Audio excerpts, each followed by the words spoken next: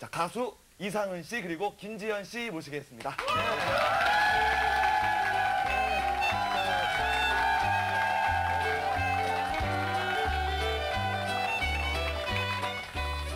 반갑습니다. 아유 너무 반가워요, 그죠? 네. 저희 이상훈 씨는 해외 많이 다니지 않았나요? 예. 너무 좀 오랫동안 외국에서 음, 굉장히 궁금했어요. 네. 또또 TV 출연을 잘 안 하시는 분이라서 네. 더 반갑네요. 그리고 요즘- 김지현 씨도. 음, 네. 네. 반갑습니다. 네. 예. 이분은 이집 솔로 앨범 예, 내셨다고요? 솔로. 음. 언제쯤 활동 이제 본격적으로 시작하시는 거예요? 어, 지금 하고 있어요. 이제 한 달쯤 됐거든요. 그러니까 제가 여기 나와 있죠. 아 우리 저 정지현 씨가 어, 제가 좀 네. 해외 좀 다녀오는 바람에요. 출장 갔다 와가지고요. 예. 출장 갔다 오는 바람에 잘 몰랐어요. 예.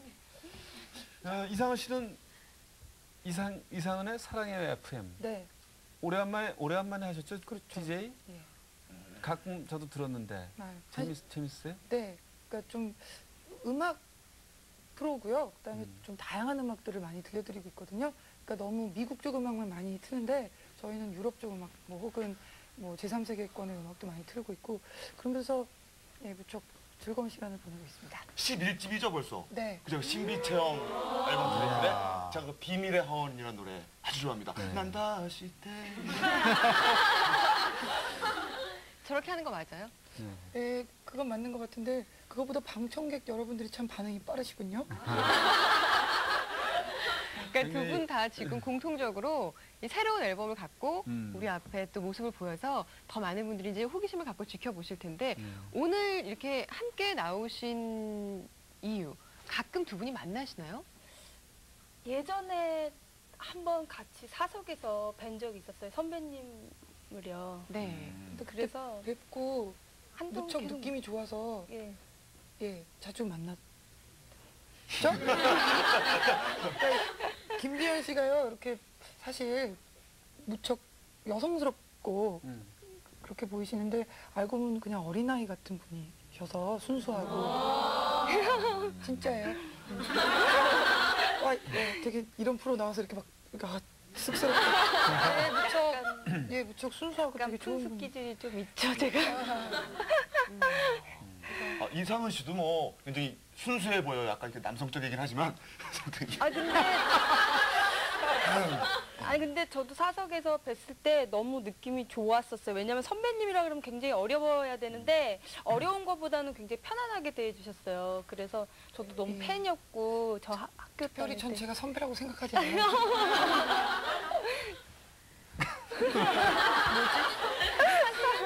박상원 씨가 한창 활동하실 때 네. 이상해 씨가 거의 비슷한 시기에 대학가요제 데뷔하지 않으셨어요? 지금도 한창 활동하고 있는데요. 그렇죠. 네. 아 사실은 네. 제가 옛날에 그 88년도에 인간시장이라는 드라마로 이제 많은 사람들한테 알려질 때 우리 이상은 씨도 또 담다디. 강변 가요제에서 담다디로 담다디. 그래서 같이 라, 라디오도 이렇게 비슷한 시간에 진행하고 그래서 네. 많이 인터뷰도 많이 했던 것 같고 어. 너무 밥도 반가워요. 한 번 같이 먹었던 것 같은데. 한 세 번 정도 네. 됐나? 진짜 오늘 참 분위기가 약간 멘트가 참 이상하겠네요. 어딘지 모르게 약간 음, 이건 뭐 편집하면요 자연스러워져요. 근데 김지현 씨는 벌써 그 SDC 포장마차에서 한번 좋은 일을 하셨잖아요. 로드매직. 아 예 예. 부끄럽습니다만 예 열심히 했습니다. 예. 근데 오늘 어떻게 또 같이 나오셨어요? 아 저희가 음, 로뎀 아이들 우리 주원이, 은비, 영광이, 영욱이 음, 아이들 보금자리 마련하는데 같이 동참을 해서 같이 릴레이로 어. 예 같이 동참을 했죠. 네, 김지현 씨 뭐 저기 그 옮기는 날은 갱- 아마 이제 보시면 알겠지만 굉장히 고생 많이 하신 것 같아요. 뭐 하여튼 아까 그, 그 뒷이야기를 들으니까 굉장히 네. 기대가 되고 너무 고생한 것 같은데 자 로뎀 나무의 집 아이들을 위한 그 보금자리를 마련하기 위한 그 프로젝트 그리고 또 이상은 씨의 음악이 있는 포장마차 한번 보겠습니다. 예. SDC 사랑의 포장마차 로뎀나무의 집 아이들을 위한 둥지 마련 프로젝트 그 첫 번째 주자는 조성모 팬클럽과 함께라는 취지 아래 모든 이들 하나 되어 멋지게 첫 테이블 끊었고 그 뒤를 이어 김지희이 나섰는데 이번엔 추억의 히트송을 모아 오랜만에 들어보는 옛 노래에 푹 빠져보고.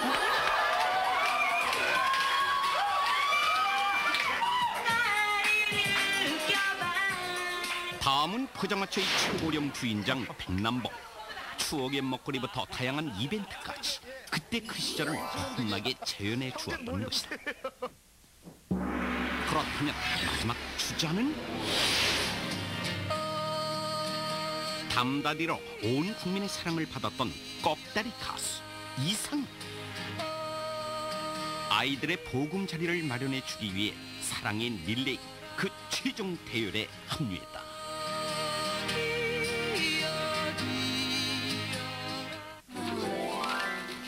이곳은 현재 이상은이 진행하는 라디오 프로그램의 스튜디오. 어, 사연 하나 좀 소개해 드릴게요. 로뎀 나무의 집이라는 곳의 어린이들 사연인데요. 이곳 사람들에게 바램이 하나 있다고 해요. 로뎀 나무의 집 아이들이 지낼 만한 조그마한 공간이 있었으면 하는 게 바로 그 바램이라고 하는데요. 많은 사람들의 사랑을 모아서 아이들의 보금자리를 마련해 주려고 하는 중이라는데요. 이 좋은 사랑의 행렬에 저도 동참해 볼까 합니다. 기꺼이 사랑의 행렬에 동참하기로 한 이상은 오늘 SDC 사랑의 포장마차를 위해 아주 특별한 순서를 마련했는데 잠시 후면 그 특별한 무대가 공개된다. 담다디 담다디 담다디 나 진짜 너무 좋아해. 내가 내가 제일 좋아해 제일 좋아해. 내가 진짜 제일 좋아하는 가수는 이상은이야. 그 야나 진짜 너무나 연구 야나 진짜 눈물이 나네 내 진짜 강변가요제 옛날에 강변까지 갔었어 강변까지 아니 강변 가요제구로 강변까지 갔다고요? 도대체 무슨 말이야? 그래서 강변역에 가가지고 방송을 예, 이렇게 안 하시잖아요, 예, 잘 또. 잘안 하는데 예. 이번에 너무 좋은 취지로 예. 네 그래서 힘을 모아야 될 것 같아서 그래서 출연하게 됐습니다. 아 잠깐 현철 씨 잠깐만요. 하자마자 아와 하자마자 이런 예 낭보입니다 낭보 하자마자 예 우리 그 묘분이요 누구냐면요 우리 스타 도네이션 미숙 성우분께서 벌써 아 낭낭한 목소리 있잖아요 네. 사연을 구성지게 소개해 주시면서 눈물을 자아내는 그분이 벌써 야 30만 원을 벌써 이렇게 해주셨어요 스타트가 좋은데요? 네 스타트 좋은데 아, 역사적인 한일전 전반전 시작됐습니다. 오늘은 한일 친선 축구 경기가 열린 날. 붉은 악마로 완벽하게 준비를 끝낸 이상은 오늘 경기가 한일 전인 만큼 포장마차의 초반 컨셉은 일단 월드컵 컨셉으로 밀어붙이기로 하는데 2002 월드컵 분위기 그대로 이어받아 분위기 좋고 이 기분 살리고 살리고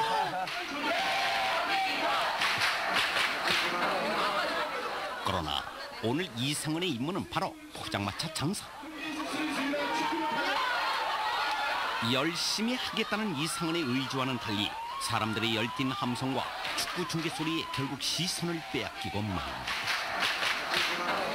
그래도 손님이 주문한 음식은 밀려 있으니 냄비 들고 하나 둘 셋 테이블 건너서며 음식 주인 찾아보는데 꽁치 김치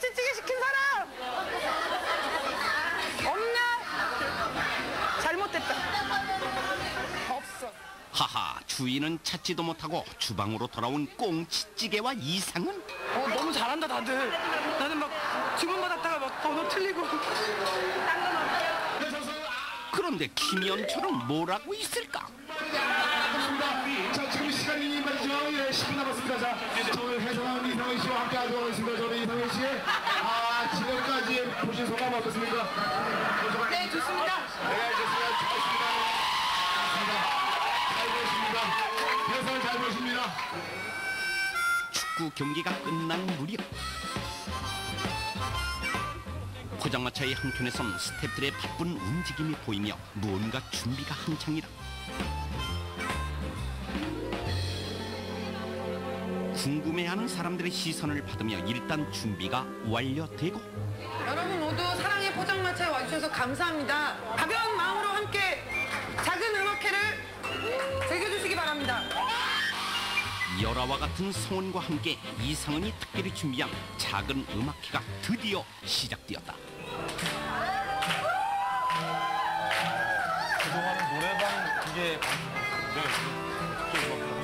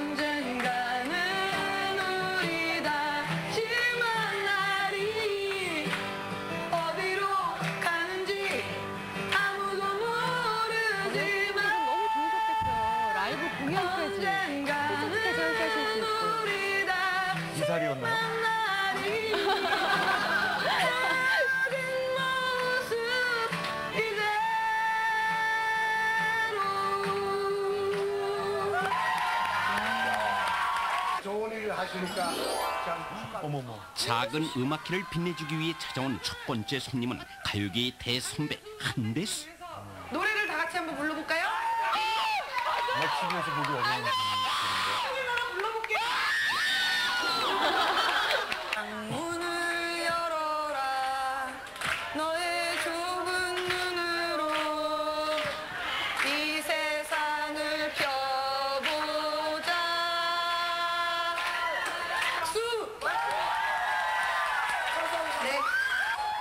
이어지는 작은 음악회의 두 번째 출연자 강산에 제가 이렇게 이상훈의 친구로서 오빠로서 참여할 수 있는 걸 예, 굉장히 기쁘게 생각합니다.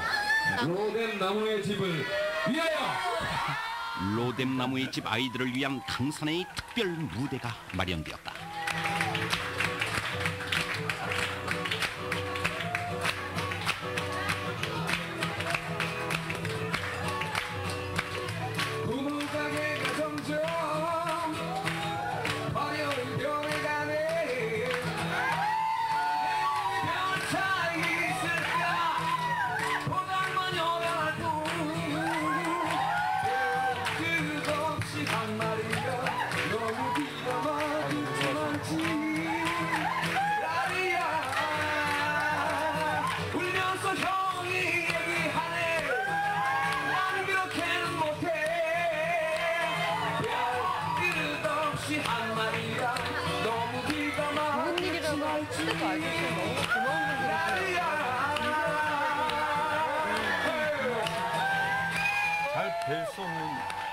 귀한 음악회의 분위기가 한껏 무르익어 가는 이 순간 다음 순서는? 자 이제 한 테이블에 한 명씩. 아니면 두 테이블에 한 명이도 좋고요. 담다디 춤 경연대회가 있겠습니다. 이상은이 준비한 이벤트는 담다디 춤 경연 대회. 과연 오늘 제2의 이상은은 누구일 것인가?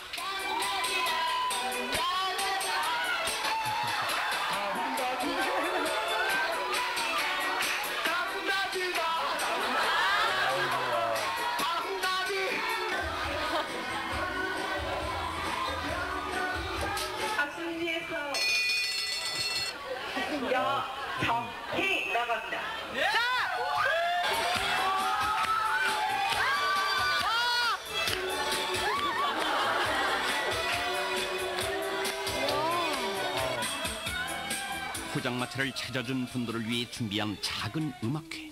하지만 팬들의 대단한 성원에 오히려 이상은이 더 즐겁기만 하다.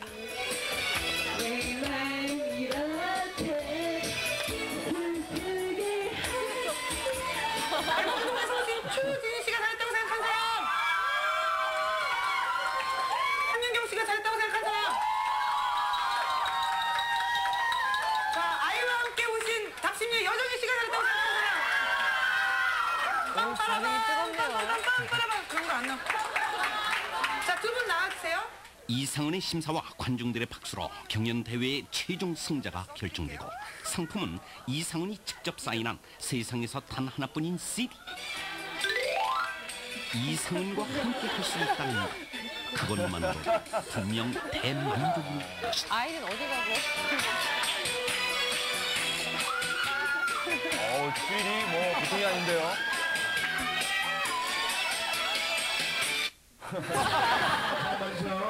그 다양한 이벤트가 준비되어 있습니다. 아까 전에 한마디 선발대회에 이어서요. 이제는 이상은 씨가 그림 잘 그립니다. 이어지는 음악회의 두 번째 이벤트. 이상은의 그림 즉석 경매. 경매에서 경매. 우리 나이처럼 순수하게 자유롭게 잘 살았으면 좋겠다는 마음입니다 그렇습니다. 1년, 1년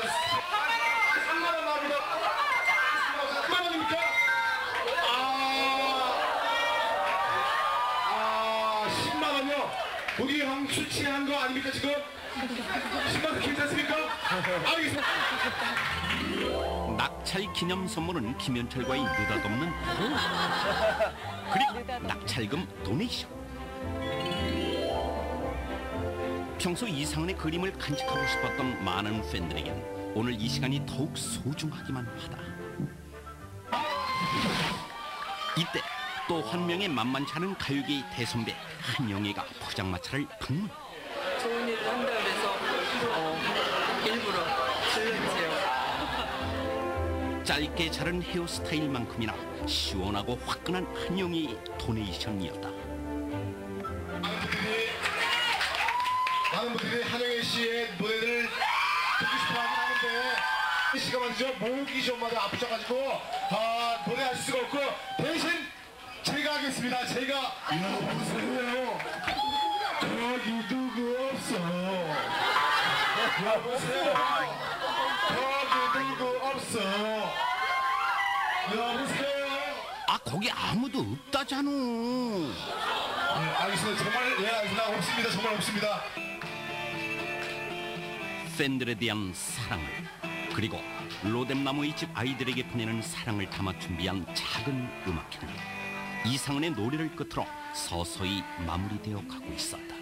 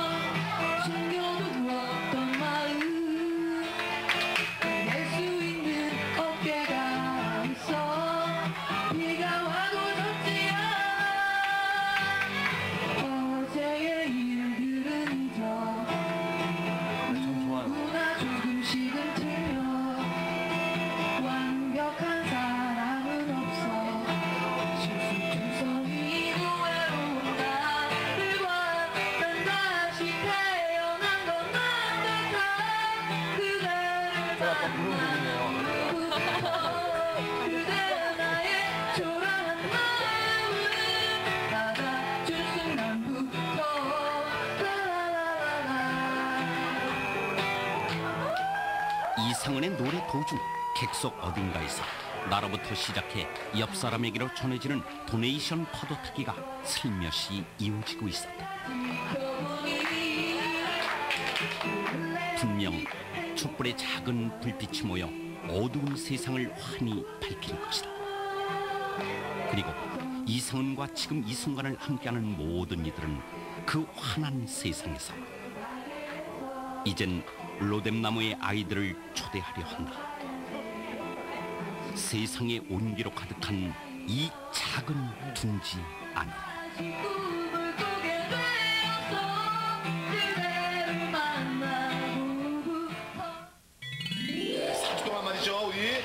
조성모 씨, 김지연 씨, 백남봉 선생님 그리고 이상은 씨 너무너무 감사합니다. 네. 요즘 이렇게 도네이션, 그러니까 기부 문화가 많이 확산되고 있는 걸로 알고 있는데요. 여러분들도 이렇게 좋은 일에 많이 동참해 주시길 바라고요. 아, 정말 오늘 상의 포장마차는 말이죠. 예, 노래와 꿈과 아, 그리고 사랑이 듬뿍 담긴 그한 포장 마차였습니다. 자, 아, 오늘 매상 총액을 발표하겠습니다.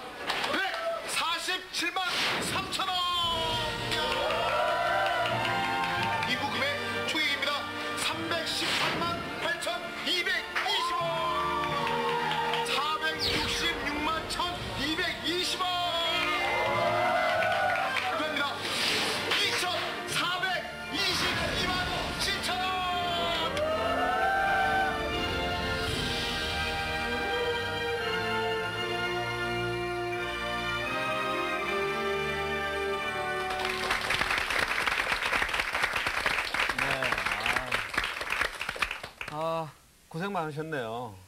예, 물론 좀 힘들었지만 그래도 뭔가 그렇게 자 좋은 일을 하자라고 했을 때 많은 분들이 참여를 해주셔서 도리어 나중에 끝나고 난 다음에 제가 또 감동을 받았습니다. 네. 포장마차가 사실 그동안 쭉 봤는데 오늘은 완전히 다른 분위기죠. 네, 완전히 함께 공연장처럼.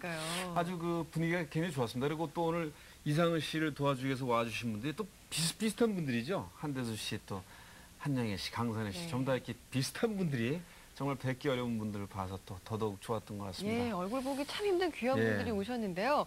이상은 씨 전에도 저희 프로그램을 보셨어요. 어떻게 해서 이스타 도네이션 포장마차 함께하게 되셨는지 궁금하거든요. 예, 뭐 글쎄요, 어, 남을 돕는 것은 무척 좋은 일이고 또 제가 만약에 거기서 또 노래를 하면서 또 팬 여러분들하고 만나면서 그러면서 정말로 좋은 의미로 돈을 잘 모을 수 있어서 그걸 잘 전달할 수 있는 기회가 있다면 사실 뭔가 도네이션을 하거나 그럴 때 믿음이 안 갈 때도 가끔 있거든요. 제가 진짜로 돈을 이걸 모아서 줬을 때 진짜로 잘 전달이 될까?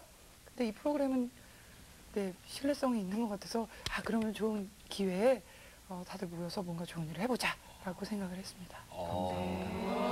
그럼요. 예. 저희 스타 도네이션이 배달 전문이에요. 네. 그러셔야죠. 저는 텔레비전의 좋은 기능이란 이런 거라고 생각합니다. 그러니까 TV를 통해서 남을 진짜로 진심으로 도울 수 있고 또 같이 또 즐거운 시간도 가질 수 있고 그래서 이 프로그램이 TV 안에 있는 작은 오아시스 같다는 생각이 들고요. 그리고 함께 도와주신 여러분들 정말 감사합니다. 네. 박수가 나와야 돼요. 어, 이윤석 씨만 괜찮은 얘기 하는 줄 알았더니 우리 이상은 씨도 또. 어우, 예. 오아시스란 오아시스. 표현을 아무나 못해요.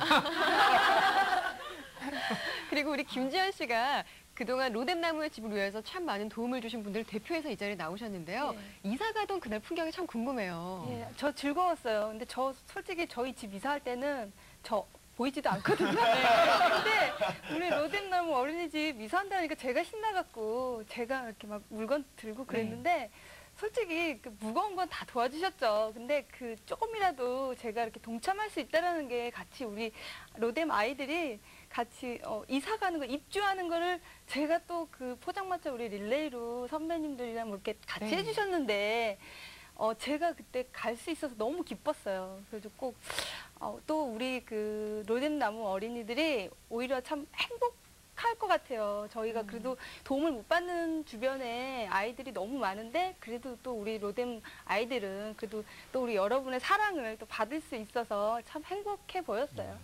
그날 원래 제가 같이 갔어야 되는데요. 네. 몸이 아니요, 난데없이 몸이 어떤 너무 안 여자분이 좋아서. 이렇게 오셔서 짐을 나르시는 거예요. 그래가지고 예. 뉘신지요? 막 그랬어요, 저희가. 뉘신지요? 그랬더니, 저 이상은 씨 매니저인데요. 제가라도, 어, 매니저분께서 오히려 정말요? 몸이 안 좋으시니까 제가라도 하겠다고 와서 도와주셨어요. 그래요. 원래 연예인이 몸이 안 좋으면 매니저가 고생을 해요. 근데 우리 김지현 씨 옆에서 이렇게 뵈니까 아까 방송 시작하기 전에도 그랬고요. 평상시에는 이렇게 왜 이렇게 그냥 분위기를 좀 많이 타는 그 분위기 있어 보이잖아요. 계속 들떠서 막 저 아주 그냥 어린애처럼 이렇게 말투도 그렇고 그게 좋 되게 좋아하네요. 아마 그 아마 저런 모습이 아이들도 정말 좋아했을 것 같아요. 한번 어떤 모습으로 정말 그 아주 그, 그 즐거운 일이 일어났었는지 한번 보겠습니다. 가보죠 뭐. 드디어 이사하는 날 아우 늦었네 늦었어. 오늘도 역시나 늦은 김현철 그런데 현철 씨 오자마자 누굴 기- 이사갈 새 집에서는 아이들 맞을 준비가 한창이었다 그리고 이 새 가구는 며칠 전 이상은이 아이들을 위해 준비한 깜짝 선물이다 포장마차를 마친 다음 날 너무 예쁘다. 이상은은 주원이 은비와 함께 가구점을 찾았다. 그런데 가구보다는 장난감에 더 관심 많은 아이들이다. 높게 올리고 밑에 이렇게 학습 공간으로 활용하는 이거 이거 말 되는데요? 생각은 따로 안 하고 너무 예쁘다. 어, 도로 어려지고 싶어 이러는데 놀고 싶다.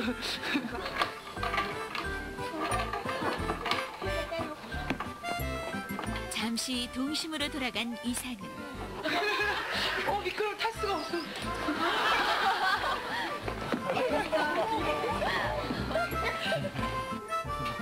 이번 가구는 뜻있는 회사의 도움으로 마련된 것이다.